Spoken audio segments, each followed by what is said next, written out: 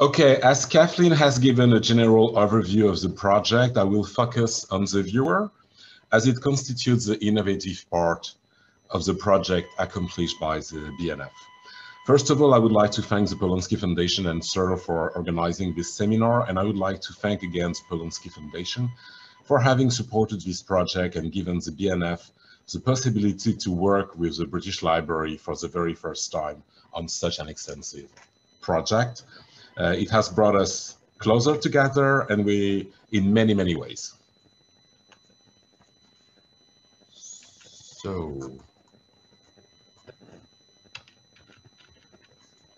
oh, um, yes, this is it. Uh, the BNF was in charge of creating a website dedicated to researchers using IIIF to compare manuscripts and to interact with them in all sorts of ways. Both the BNF and the British Library are member of the IIIF consortium since the very beginning in uh, 2010. Uh, it was for the BNF an incredible opportunity because we, we used IIIF for the very first time in one in, in, in the library. We choose a viewer called Mirador as it offers functionalities such as zooming, the capacity to compare up to four manuscripts simultaneously, to annotate content, to handle any type of document uh, from any digital library and interoperability is at the core of the matter. And uh, before reflecting upon the lessons learned from this project, I will make a very brief presentation of the viewer's main features and qualities. So you access uh, the viewer through the advanced search of the website developed by the BNF. Uh, this is a very important thing. The website uh, developed by the BNF is built using all the functionalities of Gallica, our digital library, which means that it evolves on a regular basis and it's also a very robust environment and sustainability is one of the issue of every project as you have to maintain the site for uh, many years. So you can make a, a, search with a place name and involving both collection. Then you access a result list. You choose uh, a manuscript. And if you click on previous, you get back to the result page and you reset the viewer. And when you go to add item, you return to the result page, but you add another document for comparison. So here, for example, you have two manuscripts, one from the British Library, one from the, the BNF.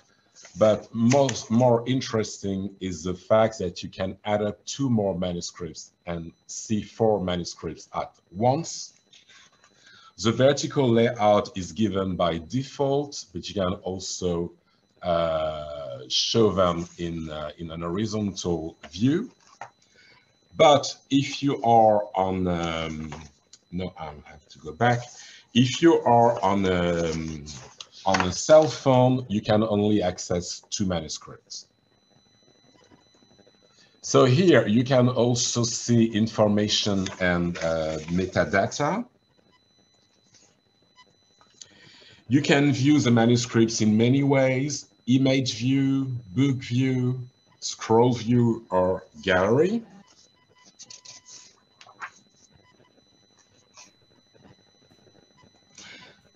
And uh, then you can also download the document, one page or the entire uh, manuscript in PDF format and here you have all the possibilities, all what you can do. You can share, share them, send them by email, Facebook, Pinterest, Twitter.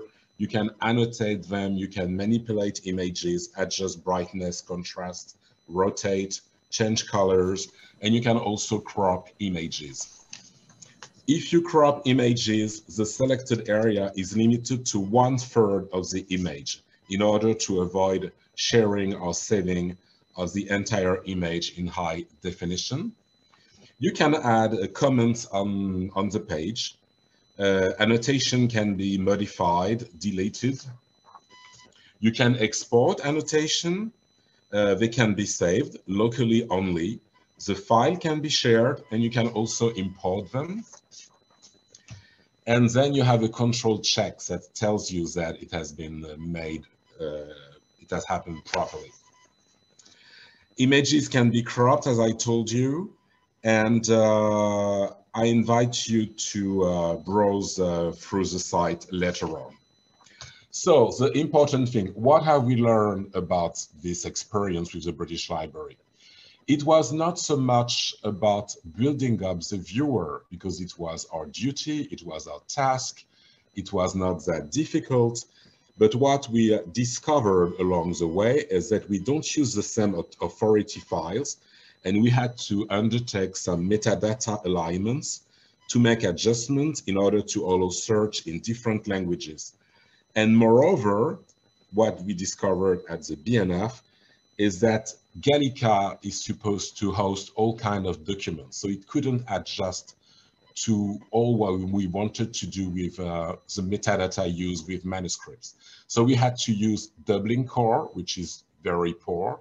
And once again, we had to make another adjustment. So as a conclusion, I would recommend at the beginning of any project to make a cartography of the partners, standards, and also within your organization to have a talk with your IT team in order to identify potential issues and limitation, not to deter you to go forward, but to foresee the necessary adjustment as your partners and your IT teams in terms of planning and workload as we will have to dedicate time to solve issues.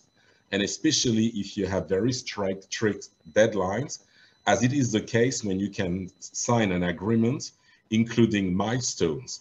So planning ahead gives you more leverage and less stress to carry out actions. It is also a plea for normalization and international standards as regional or local choices come at a cost in the digital age. And I guess that in this respect, we are all guilty. At the same time, we got closer together through difficulties. Therefore, I guess it was also worth it. And there are absolutely no regrets.